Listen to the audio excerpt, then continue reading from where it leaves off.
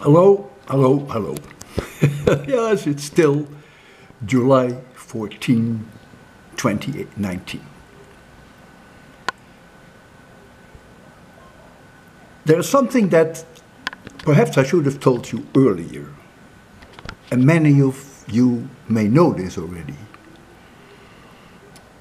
Every day there is a so-called astronomy picture of the day abbreviated APOD, A-P-O-D, Astronomy Picture of the Day. You should really look at it every day. When I open my computer in the morning, when I wake up, it automatically comes up. That's the way I have programmed it. So I see it every day.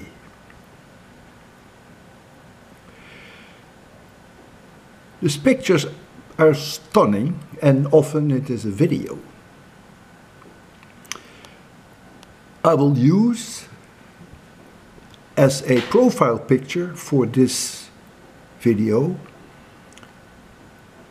today's APOD, which is a fantastic example of northern light,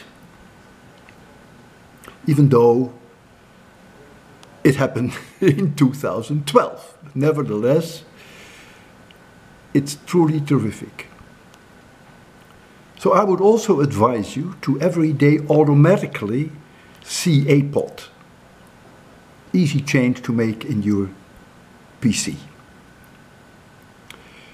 If you want to know the website of APOD, that the best thing for you to do is to Google astronomy picture of the day and of course you will immediately get the website.